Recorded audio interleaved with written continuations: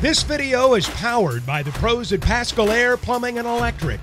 Arkansas owned, Arkansas operated. GoPaschal.com. So Cody, just overall, how would you recap your day? First time getting the start, and obviously it went pretty well for you. Um, yeah, I felt good today. Um, I was just going to come out and give our team a chance to win. Uh, but it really comes down to just executing pitches, and so that's what I was doing, just trying to take it one pitch at a time, and I got the results I did. Was there was there a specific moment in the game where you really settled in? Because it seemed like you kind of found a groove in your you know third through sixth innings. Was there a moment where you you kind of locked in? Yeah, my second inning, I didn't think I was uh, making pitches the way I should have, um, and I don't know what it was. Maybe maybe after I came out uh, into the third for the warm up pitches, I don't know what it was, but something clicked, and I was like, all right, it's go time. So, Cody, when did you uh, find out when that you, that you were going to start, and how did you how did you react uh, to the TBA on Sunday? Um, I found out I was going to start yesterday after the game. Um, so I mean, I was ready to go out of the bullpen Friday and Saturday. Um, but yeah, whenever they told me I was starting, I was excited about it. Um, you know, I think if you ask every pitcher in the locker room, everybody wants to be a starter, you know. But uh at the end of the day, my job is just to pitch and I don't get to decide where I when I throw. So and then Jared, you had a 470 foot home run today. Uh, you ever hit a ball that far? No, I don't think so. I think uh, I definitely got every piece of that that baseball right there. So it was uh, it was fun. Cody, is it, is it lost on you that your last start was against Arkansas, at least the Division One SEC level? I didn't really think about that. That's kind of cool. Um, but yeah, I was honestly, honestly coming uh into this game, I knew that that that was my only like other start that was big. Um, and so I was thinking about that. I actually watched the highlights of that game the other night, and I was like, man, I've gotten so much better since then. So I should be able to handle these guys. I mean, that was 22 months ago. I know you pitched last season too, but but just in terms of pitching in, in front of a lot of people, that I wonder how exciting that was for you. Oh, it was it was really exciting. Um, especially hearing my dad yell from the stands too. That was kind of cool. Um, especially when there's so many people there. Uh, but yeah, um, I'm supposed to be able to thrive in those environments, so that's what I got to do. Yeah, I hear pitchers sometimes say they feel more comfortable as a starter than they do as a reliever, or vice versa, just due to the different you know circumstances that lead up to coming into the games. You you pitched well as a starter today. I mean, do you have a preference on on which one you do?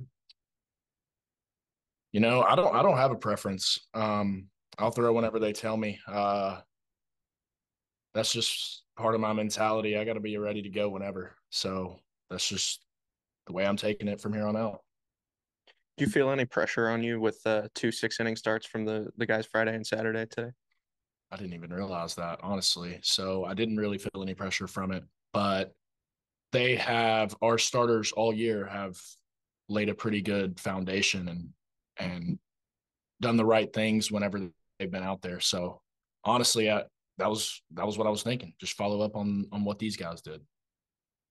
Jared, it seemed like the Auburn dugout had a lot to say after your home run. What was? Do you have any insight on what was going on there, or what they were upset about, or?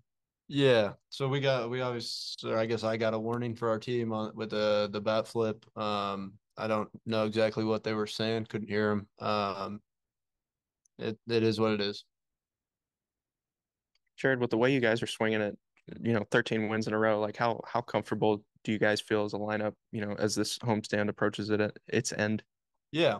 Yeah, I think uh, a lot of people are swinging it well. They're seeing it really well. Um, you know, our offense does a really great job of of taking walks when they're presented and uh, you know, putting good swings on it, whether we're in a leverage counter or or battling with two strikes. So um, you know, it's been good. We've been able able to play a lot of runs and uh, I think we've we've done a tremendous job here recently. The three run hit was really the key to this series. Brady had one Friday, Kendall had one yesterday, you had one today. Otherwise, you know, it's kind of a, a pretty closely played series. I just wonder what you think about those hits, and then, you know, yours and Kendall's came in in two out situations, and, and how big those felt to the to the maybe the way the game turned out. Yeah, yeah, those uh the three swings that you brought up. Um, you know, obviously someone's trying to come through um, big. And um, I told Kendall that he he had the swing of the game yesterday, and uh, you know it feels good to to get get that swing and, and someone's got to step up and get it done. And sometimes I remember like Kendall's swing, I'm pretty sure I uh, had struck out, Jay struck out, and then he he came in. So that's that's part of trusting your teammate. You know, obviously you want to get the job done, but if you can't, you know, we get a lot of trust up and down the lineup um, to just just know that they're going to get the job done. Bet Online remains your number one source for all your sports betting this season. Everything from the NFL and bowl season to esports. You'll find the latest odds, team matchup info, player news, and game trends at Bet Online. Bet Online features live betting, free contests, and live scores for almost any sport or game imaginable. We're the fastest and easiest way to bet on all your favorite leagues and events.